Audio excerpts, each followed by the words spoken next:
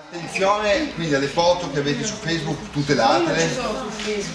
Fate proprio attenzione a non postare foto di altri che non lo vogliano.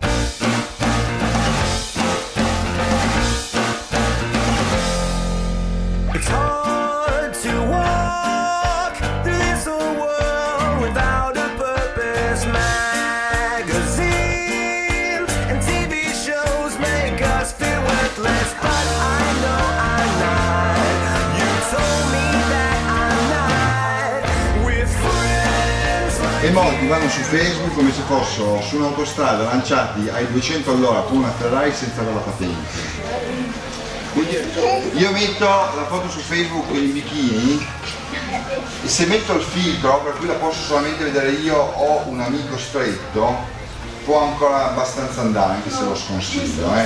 perché le immagini che mettete prima o poi risaltano fuori nella vostra vita perché se io mi metto con una posa sexy scusate però vi devo dire la verità. Se mi metto con una posa sexy in mutande del profilo attiro un certo- una certa tipologia di persone su Facebook, su Facebook ci sono tutti, ci sono le persone buone come noi, ma ci sono anche i pedofili, ci sono i malintenzionati, quindi bisogna far molto If if I could make it without friends like